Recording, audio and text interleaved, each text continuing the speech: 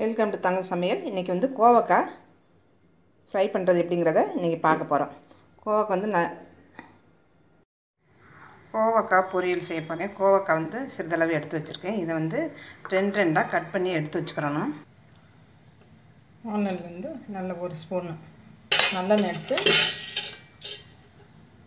ஊற்றிருக்கேன் எண்ணெய் காஞ்ச உடனே கடுகு போடணும். கடுகு வெடிச்சிருச்சு. வெடித்தோடனே வெங்காயத்தை தலை போட்டணும்.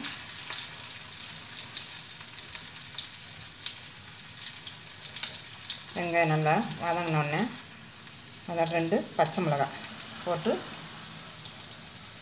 நல்லா வதக்கணும்.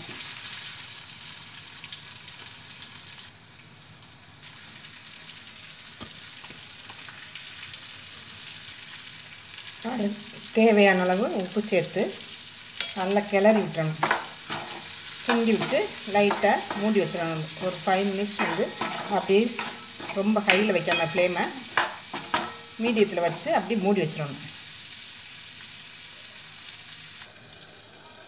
அஞ்சு நிமிஷம் இருந்தாலும் திறந்து பார்க்கணும். திறந்து பார்த்தோன்னா நல்லா காயை வந்து நல்லா திறச்சி விட்டா நல்லா ஓரளவுக்கு வதங்கி வச்சுப்பாங்க பொருளாக வதங்கிடுச்சு. ஒரு ரெண்டு நிமிஷம் இருக்கட்டும். பாருங்க நல்லா ஃப்ரை ஆயிடுச்சு. இது பற்றி என்ன செய்யணும்? சிறிதளவு மிளகு பொடி போடணும். சிறிதளவு பொட்டை போடணும். இந்த அளவுக்கு சிறிதளவுக்கு மிளகு பொடி அப்படியே லைட்டாக தூவி விட்டுட்டு சிறிதளவு சீரக பொடி.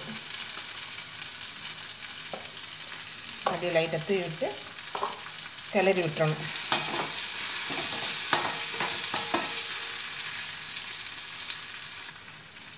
இந்த இறக்கு பயில் வந்து தேங்காய் தட்டி அப்படியே இதில் போட்டுவிட்டோம் தான் அவ்வளோதான் கோவக்காய் வந்து ஃப்ரை வந்து ரெடி ஆயிடுச்சு. சாப்பிட்றது ரொம்ப ருசியாக இருக்கும். இந்த மாதிரி செஞ்சு சாப்பிட்டு பாருங்க. ரொம்ப நல்லாயிருக்கும்